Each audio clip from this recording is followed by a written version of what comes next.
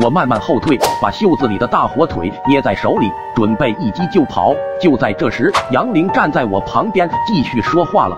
丸子，他那句话不是对我说的。我大脑轰鸣，我有些兴奋地对大哥说：“大哥，你身边是不是也有一个人，女的，穿红色校服的？”大哥眼里的杀气熄灭了，取而代之的是震惊。半晌，他说了一句：“哥们，你上报了吗？”没有。大哥又问：“你一直没跟学校说过？”我忙点头，大哥颓唐的坐在地上，滚滚热泪流下来。我以为是我疯了，竟然能看见一个别人都看不见的人。我们畅聊了尽孝始末，发现了我们成为清醒者的真正原因。身边这个穿着红色校服的女生，我身边的人叫杨玲。她身边的人叫沈博，不同的是，她上报了教务处，备案在校医院病床上的时候，她惊恐逃窜出来。正值期中考试期间，所以她顺利逃出。我是因为不想变成异类和那句提醒而没有向教务处说出杨玲存在的事情，所以这条班规是为了让我们失去身边的指引的女孩儿。那么，穿红校服的女孩儿们究竟代表着什么？为什么有了她们，我们才保持着清醒？大哥越说越激动，仿佛找到另一个同类，证明自己并非特例，对他来说是一件非常重要的事情。当一个异类真的不酷，反而很痛苦。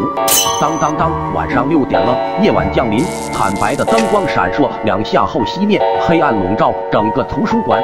咣当，图书馆古朴的门被强风打开，黑暗泛起惨红色，让严肃沉闷的图书馆好似变成了诡异惊悚的坟墓。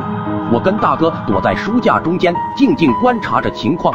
我找到你了，你是我标记的人，我会第一个找到你的。一个冰凉的声音冷不丁的在我耳边响起。卧槽，哥们你害人啊！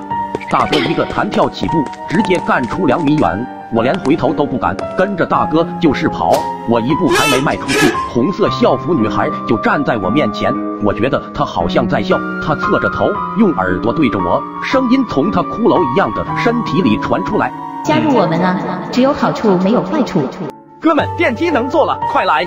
大哥还知道救我，红衣学姐只会用耳朵对着我，她是靠声音分辨方位的。我用尽全力推倒一个书架，书架上的书开始散乱的掉在地上。果然，那个学姐开始动了。我拼命奔跑，终于跑到电梯门前。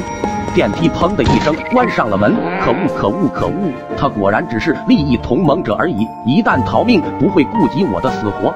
我的情绪跌落谷底，我要成为狩猎者了。电梯的响声从我身后传来，一只手钳制住了我的肩膀，我的身体在后退。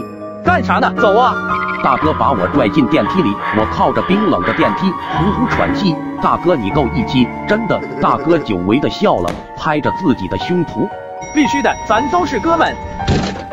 二楼到了，血红色的灯光笼罩这里，但是空无一人。我率先碰到书架，随手抽出一本书，书上密密麻麻，只是几个字的重复：学生抑郁矫正中心。我再抽出一本书，还是这些字。大哥显然也发现了，他也不顾动静，抽出所有的书。最终，他无力的跪在地上。哥们，我们是真实的活着吗？他这个问题问懵了我。